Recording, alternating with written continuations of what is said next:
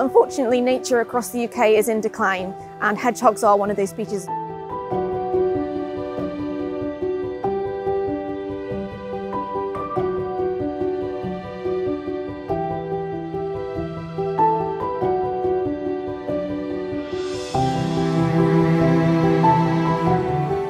the Hedgehog Watch project has been running since 2021 and we're asking citizen scientists across the region of Chester to put camera traps out in their gardens to find out a bit more about their local biodiversity.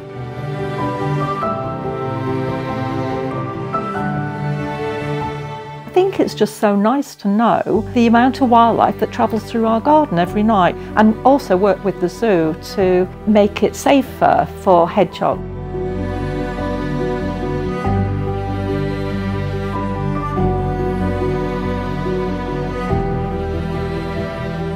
I think hedgehogs give out a lot more than we realise in our gardens. They help us a lot more than we know.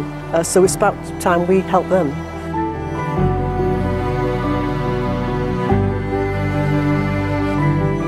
At the moment we have a Chester Zoo conservation scholar who's currently analysing the data from the first two years. So she's going to be looking at some statistical models to tell us a bit more about hedgehog distribution and how that interacts with large-scale habitat features and also garden features it's nice to know that you're doing your little bit towards the data, which is then towards the, the hedgehogs. It's just building up that whole big picture really to make sure that there's plenty of everything.